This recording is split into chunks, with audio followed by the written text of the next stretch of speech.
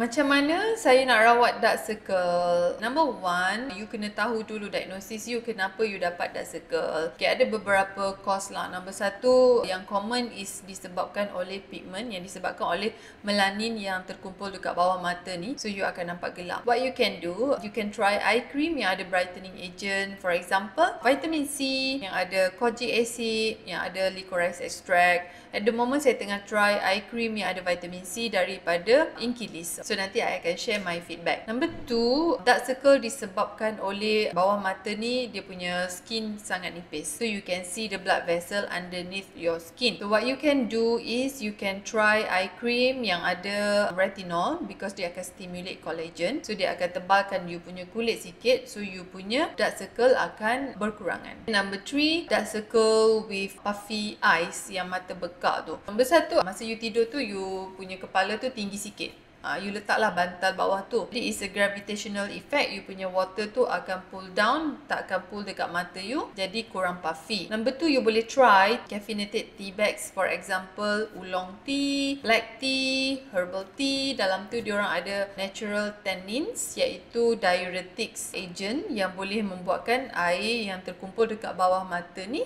kurang. So you kurang puffy. It's not a short term punya treatment. You have to be consistent pakai eye cream ni ni pagi dan juga malam and then don't forget sunscreen. If still not okay, it's time for you to see your nearest doctor. Uh, you can opt for fillers, you can do Rejuren and also lasers.